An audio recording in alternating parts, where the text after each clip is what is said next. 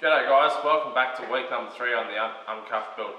We don't have a lot to update with on the build this week. Uh, earlier in the week we sent it over to the Auto to get um, all the wiring sort of roughed in and, um, and ready. Uh, due to prior commitments we had with other builds and things, we had to spend the week getting them done and out of the way so that the rest of this month we can focus solely on finishing uncuffed. It's getting the wiring put in, it's only getting roughed in. We've still got to do the whole rear end work and, and mount the motor and all that sort of stuff. But we, as I said, we just want to utilise the time that we couldn't be working on it uh, to get someone else to, to do their bit.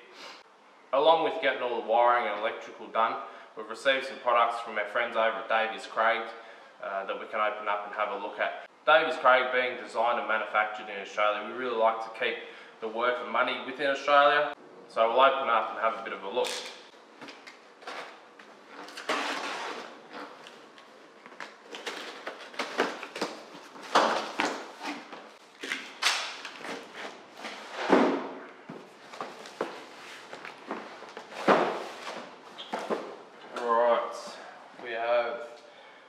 dual fan mounting kit, that'll be for the thermos on the radiator, digital gauge thermatic fan and EWP switch, we'll go through that in a minute, couple fittings,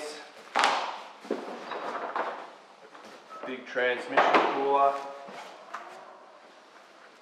bit of a notepad, header kit, couple of thermos, water pump. Alright, let's get through this at the moment. Alright. So in terms of cooling the motor, we'll, we'll be running a couple of thermos on the, on the radiator. Um, we're going to be recessing the radiator under the, under the radiator support just to allow room for the blower drive, the magneto, the fuel pump and things like that.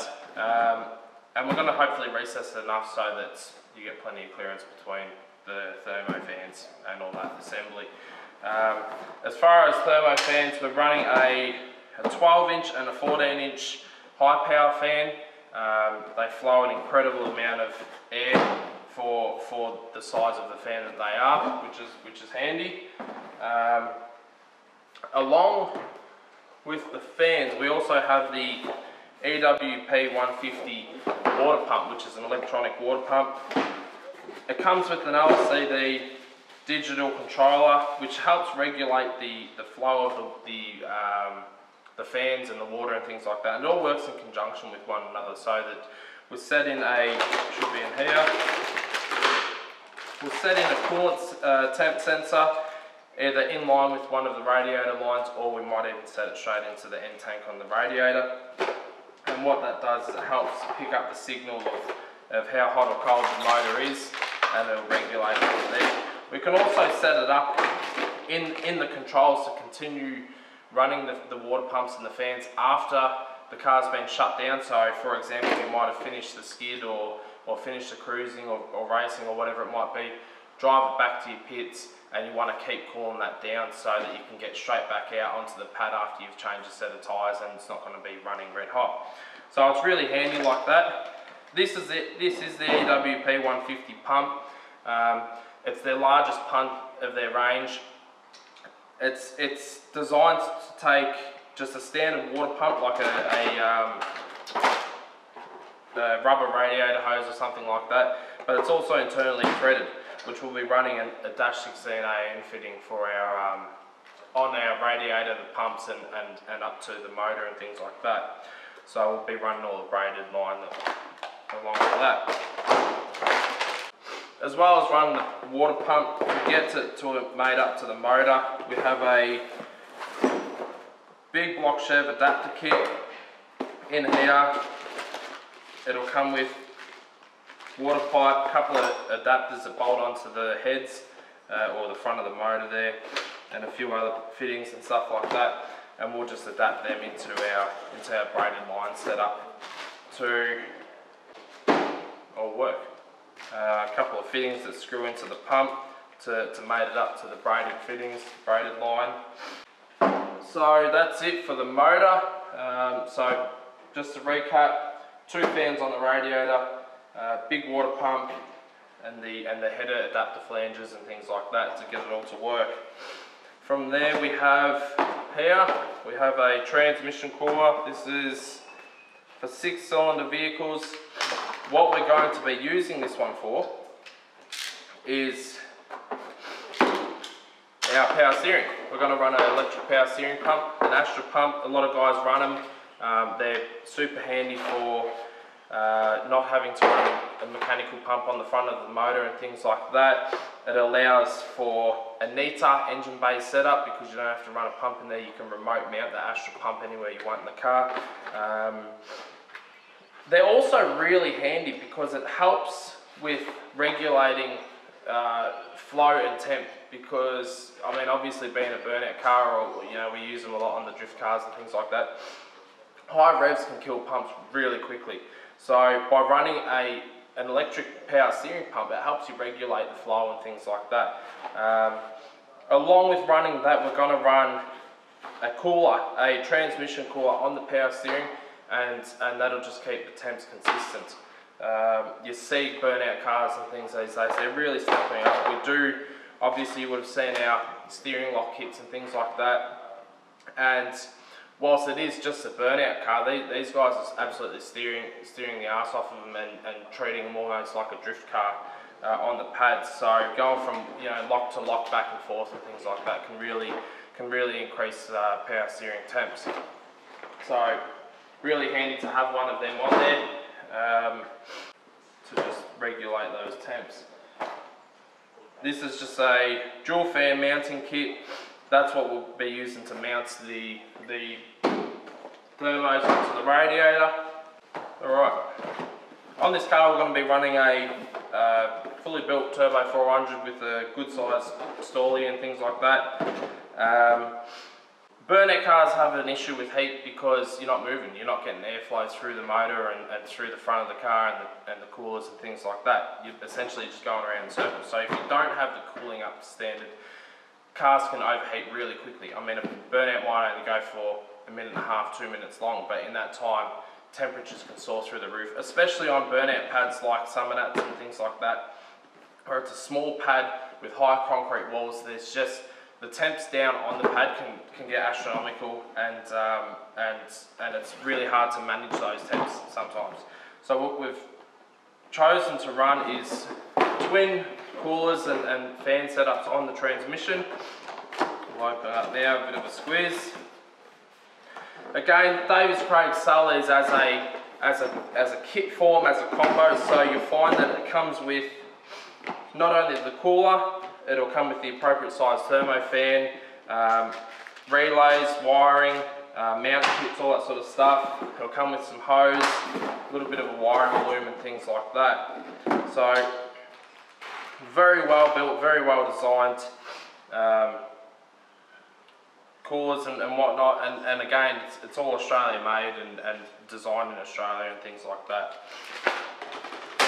Got a really good aftermarket uh, after sales support, uh, any questions and things you have for them, they've always been super helpful for us to answer anything that we need, uh, it need to know. On these transmission coolers, we're going to run a, a thermo on each um, to, to regulate temps, but but not only that, I mean, it's, it's quite common to set it up on a relay just with the just with like a missile switch, like a, a switch to flick it on and off. But when you're talking about transmissions, it might be five, six, seven thousand dollars or more. Um, you know, engine combo, combos that people could spend 40, 50, 60,000 dollars on and things like that.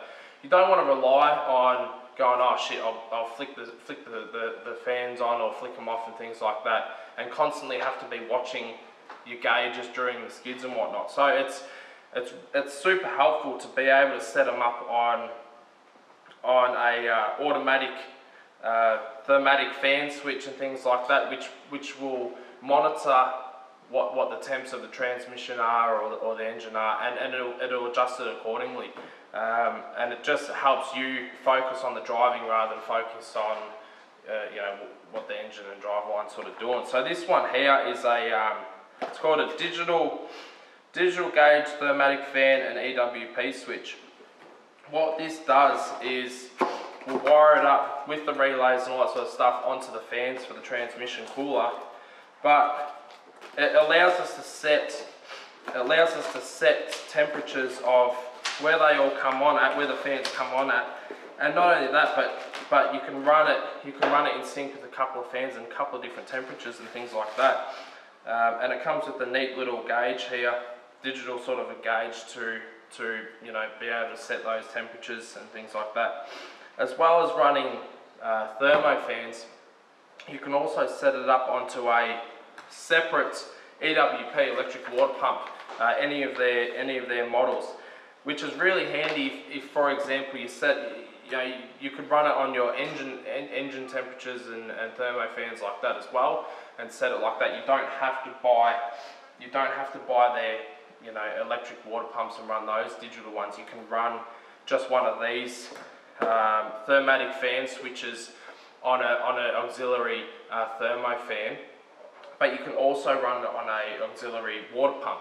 And you can use their water pumps with a factory manual sort of water pump on the motor. You know, so you, you might want you might want to have you know have it running as it is, no worries. But then you might be towing or or you know you might have it you might have it so you have your normal pump and you're on cruising, but then you pull over into the burnout pad and you want to give it some stick. Um, you can set it up to have an auxiliary water pump as well, like maybe the EWP 115s or something. And that when it gets to a certain temperature, not only will they kick in the fans, uh, kick in an extra fan, but it then can also kick in the electric water pump and help with the flow, which is really good. Um, so that's that's what we're going to set it up. And even for these, they, they do have the, um, in here somewhere, it has the temperature sender so that you can you can have it in here. There's still some goodies stuck in here, but you can have it set up so that it measures the temperature of the actual fluid, or you can have it set up that it just measures the the temperature of the air that's flowing through the cooler at the time, um, which makes it a little bit simpler for install and things like that.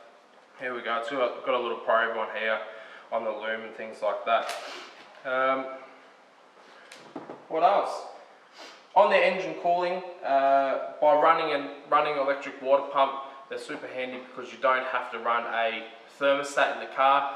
Um, some people can have dramas with thermostats, whether it be you know being a sticky thermostat, open or shut, or just they can't seem to get it to monitor the right temperature range and things like that.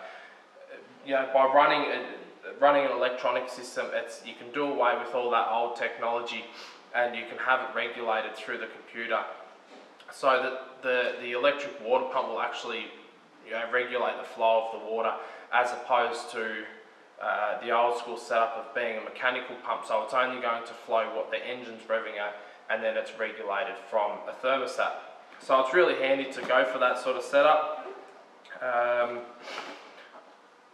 again, I don't know if I mentioned it earlier, but Davies Craig also have the header adapter kits to suit um, small block, big block, LS motors uh, and, and Ford, Ford V8 Ranger motors and things like that as well. So for our customers, the GDO guys in, in, uh, in the US and things like that, it'll work for your cars as well. Um, if you are interested in purchasing it, daviescraig.com.au or if you are stateside, daviescraig.com. Um, the guys will have a nice little trade stall set up at Summernats 33, so you can go there and check them out.